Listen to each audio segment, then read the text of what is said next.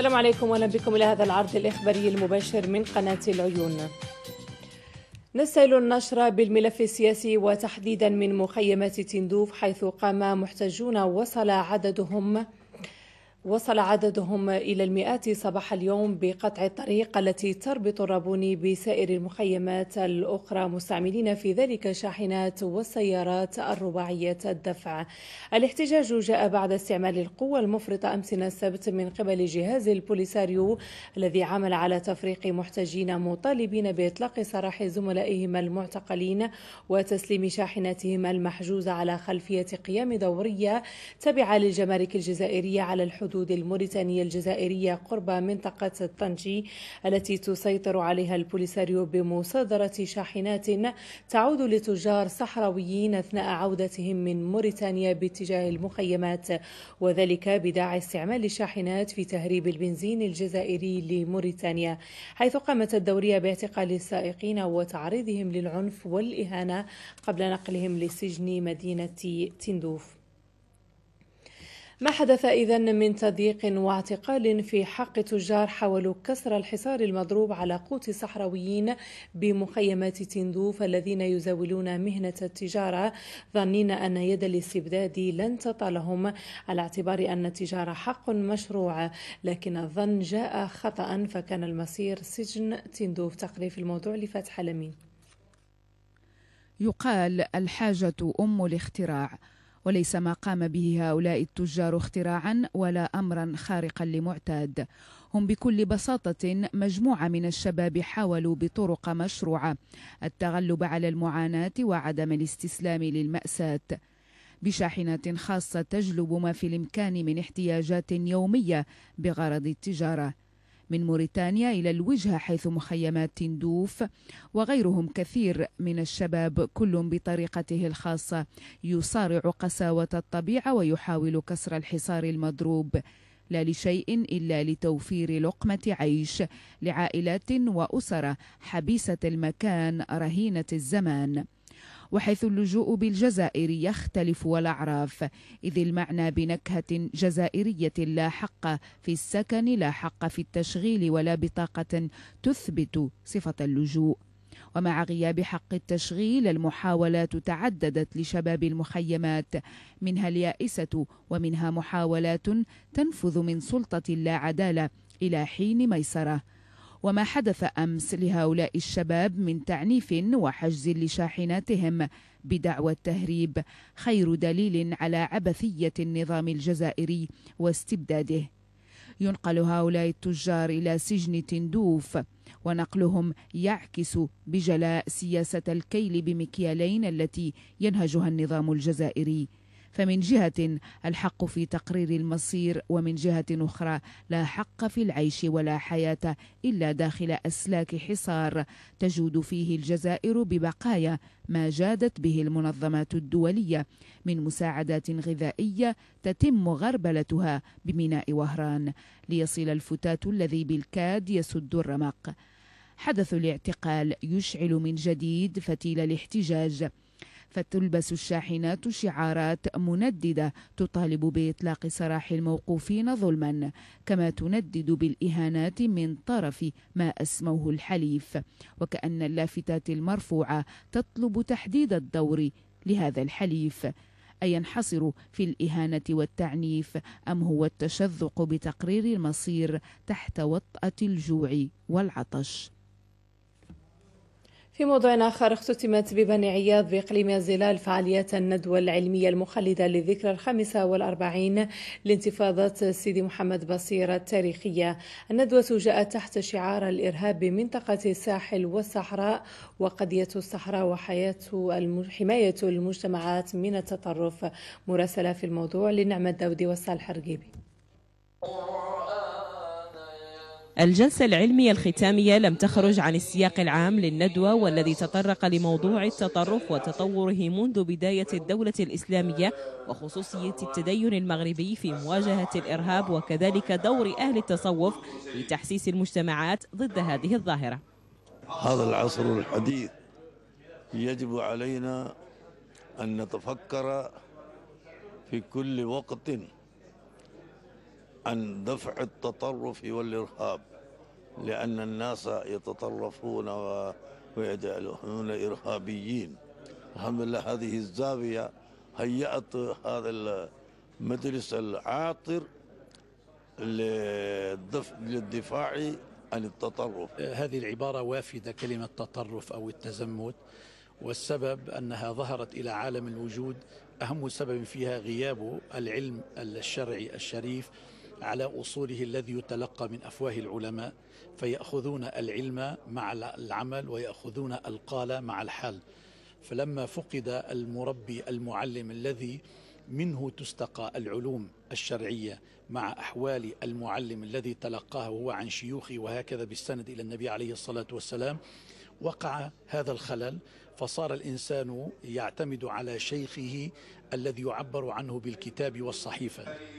قضية الصحراء والحكم الذاتي الذي قدمه المغرب وكذلك التطورات الأخيرة لملف الوحدة الترابية موضوع كان حاضرا ضمن فعاليات الندوة العلمية المخلدة للذكرى انتفاضة سيدي محمد بصير وذلك من خلال عدة مداخلات. آخر التطورات التي تعرفها قضية وحدتنا الترابية.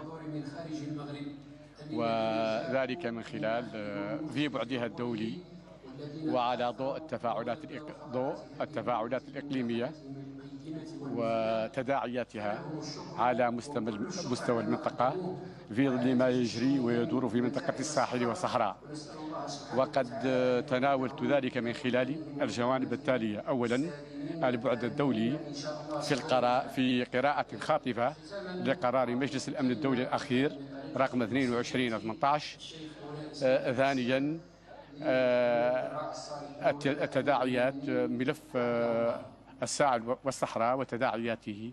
مبادرة الحكم الذاتي هي الحل الوحيد للصراع. على الصحراويين أن يبادروا من الآن باختيار من يمثلهم في الحكم الذاتي. فبدل من أنه نطالب بالانفصال أي تجربة جنوب السودان حاليا يطلبون عودة السودان للحكم. رغم أنه أبار البترول موجودة. ثم هناك علاقات عبر التاريخ تربط المغرب بالصحراء. يعني لا يمكن إنكارها. الدولة الإسلامية امتدت إلى السنغال وامتدت إلى ليبيا عبر المغرب. إذا فين كانت المركزية؟ المركزية في المغرب. فلا يمكن التجزيء. إذا كان الاستعمار أراد التجزيء ونحن نريد التجزيء فلا فرق بين الرايتين. يعني إحنا والاستعمار واحد.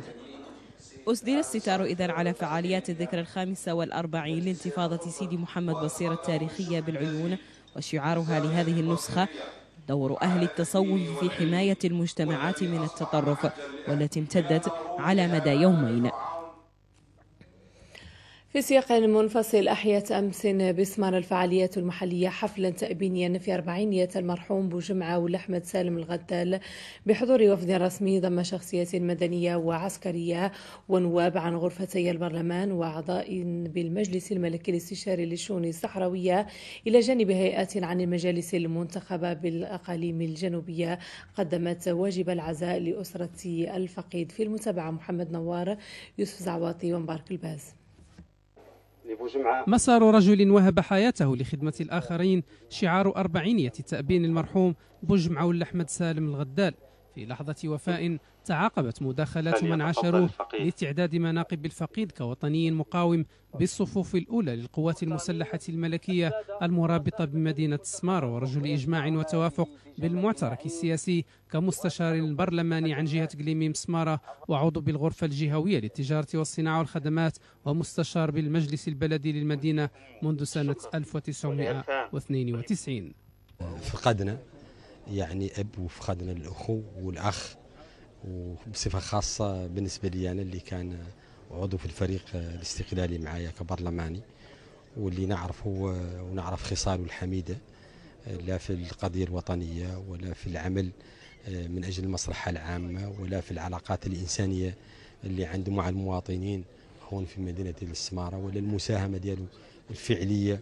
يعني كنت في بناء هذه المدينة إلى جانب الإخوة الآخرين ديال مدينة العيون. هذا الرجل اللي كان في هذه المنطقة ديال السمارة اللي كان يمثل هذه القبيلة ويمثل عدد ديال المسائل في, في الخير وفي الصلاح إحنا كندعو عليه بالرحمة وكنطلبوا من القبائل وقبيلة تيتوسا بالخصوص اللي كتسكن في السمارة اللي كان اللي كان كيدير لنا التلاحم مع قبائل الجنوب ومع القبائل وكان كيدير لنا الخير وكان كينسق لنا في الخير هو رجل. مؤمن مخلص للوطن لله والوطن وللدولة ومعلوم رفاد للوليات ورفات للضعفاء واللي جاه كامل محد يرقع يدور غاية يرقع له بوجمع من أولاد الإقليم بوجمعة من خيار أولاد الصحراء. هو أحد أعيان قبائل الصحراء وبالتالي نشكر الجميع على هذا العزاء اللي هو صراحة فقيد ليس بفقيد توسا ولا قبائل الصحراء كاملة جميعا.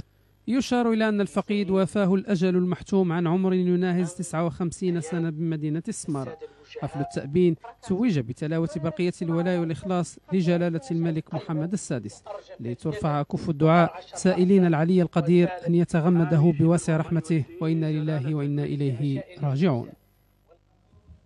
في شأن تنموي عقد أعضاء اللجنة الجهوية للتنمية البشرية بالداخل اجتماعا لمناقشة عدد من المشاريع المدرجة في إطار برنامج محاربة الهشاشة والتهميش للسنة الجارية. يتم في نهاية هذا اللقاء المصادقة عليها مع ختام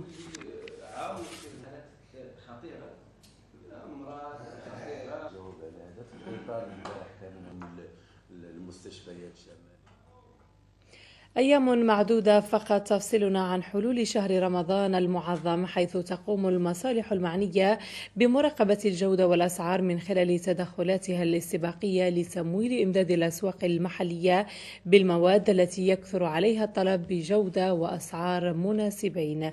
وفي سياق ذات ترأس عامل إقليم أسمار أشغال اللجنة الإقليمية المختلطة للمراقبة بحضور مكونات اللجنة إلى جانب رؤساء المجالس المنتخبة تفاصيل أوفى في سياق متابعة يوسف زعواطي ومبارك الباز لاح التباشير شهر الصيام ومعه تأخذ عادات الناس الاستهلاكية منحا في تصاعد مستمر حيث تتجاوز مقتنيات الأسر حاجياتها الأساسية المعتادة لتشمل مجموع المواد الغذائية المعروضة بالأسواق. ولتأمين السلع والمواد بجودة وأثمان مناسبة التأمت أشغال اللجنة الإقليمية لمراقبة الجودة والأسعار. وعلى أجندتها تتبع حالة الأسواق واستعراض آليات المراقبة المعهود لها تجسيد استباقية تدخلات الفاعلين في المجال لتموين الأسواق المحلية بحاجيات الساكنة خاصة المواد التي يتضاعف عليها الطلب خلال الشهر الفضيل بأسعار معقولة وجودة تراعي صحة المستهلك. إحنا تنشتغل في إطار حماية المستهلك لذلك إن شاء الله جاء الاجتماع باش يقوي الروابط ما بين عناصر ديال اللجنة الإقليمية المختلطة لمراقبة الأسعار والجودة وذلك من خلال التكثيف والمشاركة بجدية وفي مراقبة المواد الغذائية خاصة الحيوانية وذات الأسل الحيواني السريعة التلف كالسمك واللحوم والبيض إلى غير ذلك. فيما يخص التموين تبين من خلال التحريات اللي قد تقوم بها اللجنة داخل الأسواق هنا بسمارة بوفرة المخزون بحيث أن التموين سيكون تموين طبيعي وعادي آه، خلال شهر رمضان المبارك لهذه السنة. آه، بالنسبة للجودة تقوم اللجنة بتتبع الحالة ديال الجودة ديال جميع المواد ذات الاستهلاك الواسع. وفي الخلاصات حالة الأسواق مطمئنة وآليات المراقبة على مستوى عال من الجاهزية واليقظة. ويبقى وعي الساكنة بقواعد جودة المنتوج والإبلاغ عن المخالفات عاملا أساسيا لكسب رهان صحة المستهلك. ومن أسمر إلى الداخلة وتحديدا بقصر المؤتمرات وبحضور مسؤولين مدنيين وعسكريين بالجهة إضافة إلى عدد من المقاولين الشباب. افتتحت أشغال المؤتمر الوطني السابع لمركز الشباب الذي يناقش جملة من القضايا المرتبطة بالمقاولة وكذا المسيرين. تفاصيل رفقة محمد تروزي ومحمد مولود من لا يخاف. تحت شعار المقاولة الإيجابية أداة للتنمية الشاملة. عقد المؤتمر الوطني السابع لمركز شباب المسيرين. فإلى جانب الحضور الوطني من المقاولين الشباب حضر مقاولون أجانب في المنتدى الدولي بغية التشاور وفتح باب الحوار في لقاءات عقدت لتسليط الضوء على إكراهات المقاولة مع نقاشات حول أكثر الطرق أمانا لنجاح المقاول ضمن إطار يجعل من الاقتصاد في خدمة الإنسان. الهدف ديالها هو آه، تحسيس آه، وتجنيد آه، الأطر لكي تذهب إلى المدارس الإعدادية والثانوية. لتعطي التلاميذ على خلق وتسيير شركات تلاميذية. مواكبتها للمقاولين الشباب مواكبتها للمقاولة الصغرى والصغرى جدا. آه، من أجل الرقي بالمقاولة الشابة بالجهتين بكلتا الجهتين. آه، نتوخى كذلك من الورشات آه، التي سنشارك فيها اليوم أن نبرز الكفاءة وكفاءات وطاقات الشابة الثمار اللي نحن إحنا من هذا المؤتمر الوطني السابع للسي جي دي عنه اللي يخلق ننتظروا منه آه، شراكات مع عدة مقاولين شباب عرفوا نجاح. آه، بداوا بداياتهم صعيبة جدا. والله نقدر نقولوا عصاميين 100% بداوا حقوا نجاح كبير. لا يقل أهمية كان المؤتمر الثاني هو عنده أهمية كبيرة في إطار توجيه المقاولين الشباب جهة الذهب. وكذلك هناك تعارف مع بعض المستثمرين المستثمرين آه، من باقي الدول نناقشوا واحد الموضوع اللي هو المقاولة. منذ البداية ديالها خصها تكون مقاولة إيجابية. مقاولة إيجابية هي مقاولة مسؤولة. مقاولة عندها واحد مسؤولية اجتماعية مسؤولية إنسانية. يعني لا نريد مقاولات اللي كتضر بالمناخ لا نريد مقاولات اللي كتضر بالانسان ولكن نريد مقاولات إيجابية. مركز المسيرين الشباب الذي يعد حركة لرواد الأعمال الشباب اختار تنظيم فقرات متعددة خلال المؤتمر الوطني من بينها تنظيم الدورة الأولى لتكريم رائد أعمال السنة تشجيعا للشباب المقاولين. في شان الحزب وتحت إشراف الأمانة الجهوية لحزب الأصالة والمعاصرة بجهة العيون وجدورة الساقية الحمراء تم أمس بالعيون انعقاد المؤتمر التأسيسي للمنتدى الجهوي للمهندسين بالجهة. المؤتمر عرف حضورا من لدن أطر ومستثمرين ومهندسين ومناضلي الحزب وتم خلاله انتخاب منتدى جهوي للمهندسين. وأنشطة أخرى تضمنها جدول الأعمال. نتعرف على تفاصيلها في تقرير محمد فاضل أبو الحسن وعبد الله المحمودي. اللقاء استهل بكلمتين افتتاحيتين واحدة عن المكتب السياسي لحزب الأصالة والمعاصرة والأخرى ألقاها رئيس منتدى الأصالة والمعاصرة للهندسة الوطنية. فقدمتا فكرة عن الأهداف والمكتسبات والتطلعات التي يرسمها الحزب في هذه الجهة مع فئة المهندسين التي طالما عزف ممتهنوها عن السياسة حسب المتدخلين. كما تم تقديم عرض حول دور المهندس في تنمية الأقاليم الجنوبية معزز بالمنجزات والأرقام والمعطيات. الهدف الأسمى كيف دخل الحزب وندى به مصالحة ديك 80% من المغاربة. والله يعلم كم تشكل النخبة في هذا في هذا 80% والطبقة الوسطى. وأن نجيو في الشق الثاني من العناوين البارزة في التأسيس كيفاش يمكن تكون السياسة بشكل مغاير؟ اليوم الحزب خلق المنظمات الشباب فيها 4000 شاب وشابة. حنا مهندسين بدينا ب 270 كنتوخاو نوصلوا 500 600 باش يمكن في التالي نبلغوا لذاك الهدف الاستراتيجي اللي حطيناه كعنوان بارز في التأسيس السياسة بشكل مغاير. الهيئات الموازية هي بالنسبة للحزب مختبر لإنتاج مواقف الحزب في كل ما يتعلق بشؤون اللي كتعلق بالمغاربة. بالنسبة للهيئة ديال المهندسين أنا كندور الدور ديالها هو النضال من أجل الرفع من المكانه ديال المهندس المغربي وتمكينه من القيام بالدور المنوط به لا على مستوى المقاولة ولا على مستوى الإدارة العمومية ولا على مستوى الجماعة الترابية. وقد عرف هذا اللقاء التأسيسي للمنتدى الجهوي للمهندسين بجهة العيون بوجدور الساقية الحمراء. التصويت على رئيس مكتب المنتدى على مستوى الجهة واعتماد أعضائه. حيث يعد هذا المنتدى لبنة حزبية جديدة تستكمل بها التنظيمات الموازية على مستوى الجهة. لقاء ديال مؤتمر لتأسيس منتدى الأصالة والمعاصرة للمهندسين بالأقاليم الجنوبية واللي آه، من خلاله كنستكملوا آه، البنيات آه، الحزبية الجهوية والإقليمية في الجهة ديال جهة العيون بوجدور الساقية الحمراء والهدف الأساسي منه هو مصالحة الفعاليات المحلية والنخب المحلية مع السياسة بشكل عام ومع الشأن المحلي بشكل خاص وفي مقدمة هذه النخب بالطبع هو المهندسات والمهندسين. أنا سعيدة اليوم بتأسيس هذا المنتدى وسعيدة أكثر بإشراك المرأة الصحراوية الشابة المهندسة التي لم تعد متفرجة بل هي فاعلة وتساهم في تنمية أقاليمها من خلال انخراطها السياسي ولأن بالنسبة لي التنمية هي أكبر تحدي والحل لجميع مشاكل الساكنة المحلية. وقد تخللت اللقاء التأسيسي هذا مداخلات لعدد من الحاضرين من المستثمرين والمهندسين ومناضلي الحزب همت انشغالات هذه الفئات وطموحاتها. كما تم تكريم مستثمر ومهندس ينتميان للمنطقة وعرف بعطائهما ومساهماتهما في التنمية المحلية. في شأن الديني تتواصل فعاليات إقصائيات مسابقة تجويد القرآن الكريم التي تنظمها سنويا قناة العيون تحت رعاية سامية لجلالة الملك محمد السادس.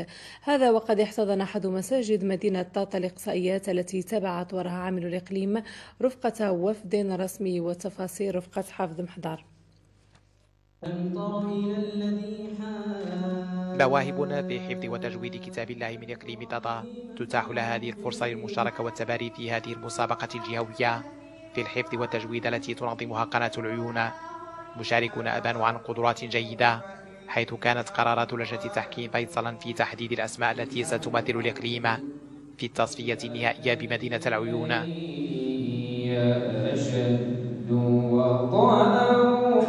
تأهلت إلى النهائيات من المسابقة التي نظمتها قناة العيون الجهوية آه، في فرع حفظ خمسة أحزاب.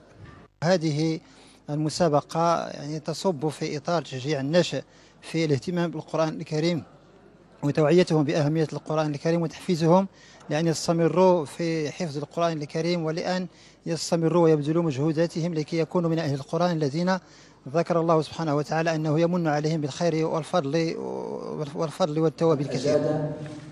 ختام هذه المسابقة الإقليمية ميزها توزيع الجوائز على المتفوقين الذين سيكون عليهم تمثيل الإقليم أحسن تمثيل في المباراة النهائية التي تتوج أطوار هذه المسابقة الدينية.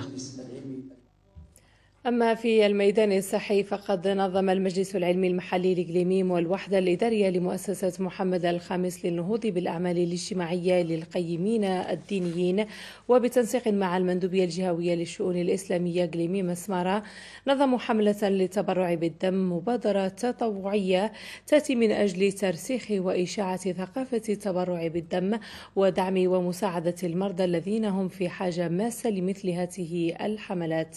ريبورتاج حجب تامكم محمد فاضل عبيدة. في إطار أنشطتها الدينية والتوعوية نظم المجلس العلمي المحلي بقليميم حملة للتبرع بالدم بمشاركة عدد من الأعضاء المجلس والواعظات والمرشدين وكذا القيمين الدينيين. مبادرة جاءت من أجل ترسيخ ثقافة التبرع بالدم لدى المواطنين وتوعيتهم بمزايا والفوائد الصحية للمتبرعين بالدم. التبرع بالدم فيها منافع كثيرة آه، آه، للصحة ديال الذات ديال المتبرع. آه، إنها كتعوض هذا هذا التبرع كتعوض بثلاث أيام ولها منافع بحال في النخاع الشوكي في الزياده في الكريات الحمراء. واصلا منافع أخرى كت... أنها كتنقذ حياة آخرين اللي أنتم كتشوفوا الحوادث السير اللي في المغرب. أن القطرة ديال الدم أنها تقدر تقدر تنفع تنفع تنفع شحال ديال الأشخاص اللي في حاجة هما ماسه لهذه الحملة ديال التبرع؟ نشكر بزاف هاد الاخوه اللي تحوا لنا الفرصة باش غادي نساهموا حتى حنا نديروا هذا العمل الخيري. نطلب الله سبحانه وتعالى يتقبل من الجميع ونحن مقبلون على شهر رمضان الأبرك. اللي الاعمال فيه كتضاعف هذا عمل اولا خيري بين الله بينهم وبين الله سبحانه وتعالى وكامل الناس خاصة تتبرع يا الناس كامل تتبرع لأنه فيه فائدة صحية وفائدة دينية في الدنيا والآخرة. جميع القيمين الدينيين رحبوا بهذه العملية التطوعية لما لها من أثر إيجابي على التعاون والتكافل الاجتماعي وأهمية أن تساهم قطرات الدم التي يتبرعون بها في إنقاذ حياة إنسان بحاجة ماسة لها. اليوم جينا إن شاء الله باش نساهموا بالدم ديالنا بصفتنا قيمين دينيين جينا بس نساهموا لأن الله تبارك وتعالى يقول في كتابه العزيز ومن أحياها فكأنما أحيا الناس جميعا.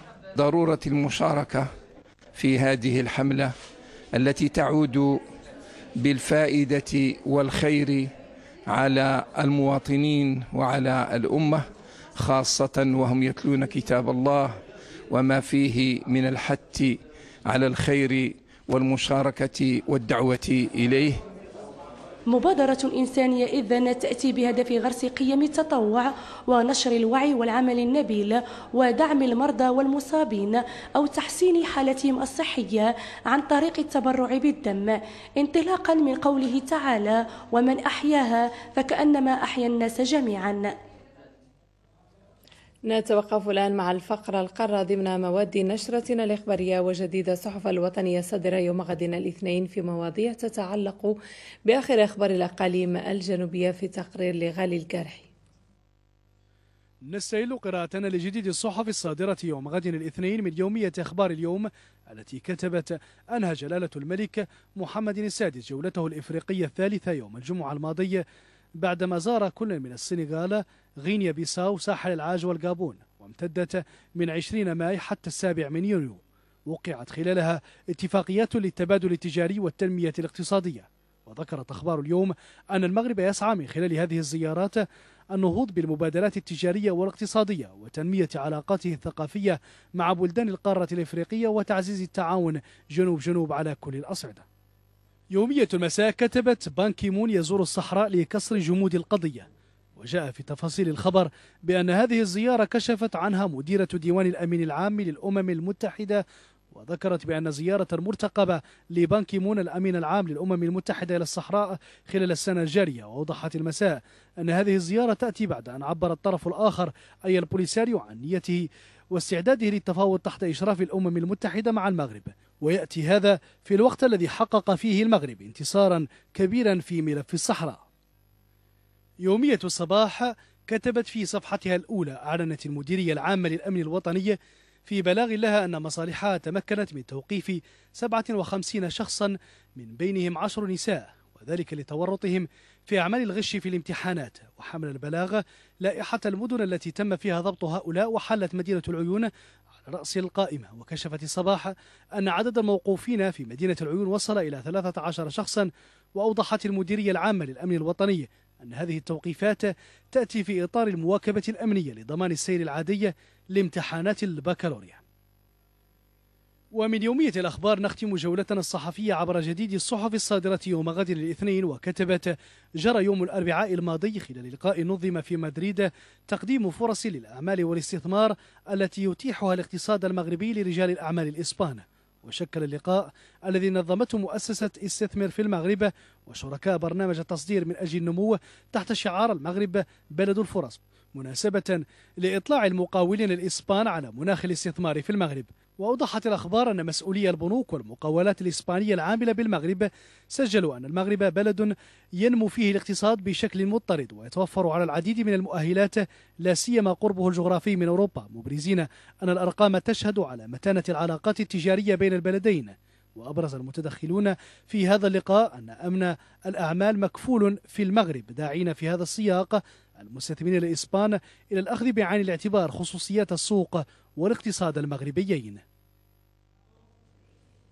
ونختم النشرة بورقة أحوال الطقس المرتقبة اليوم غد الاثنين حيث يرتقب أن تكون السماء صافية إلى قليلة السحب بالأقاليم الجنوبية.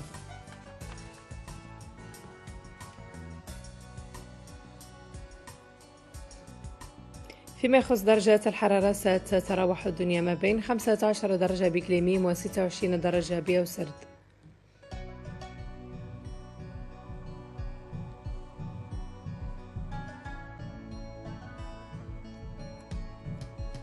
بينما ستتراوح درجات الحرارة العليا ما بين 39 درجة بأوسرد و 22 درجة بسيديفني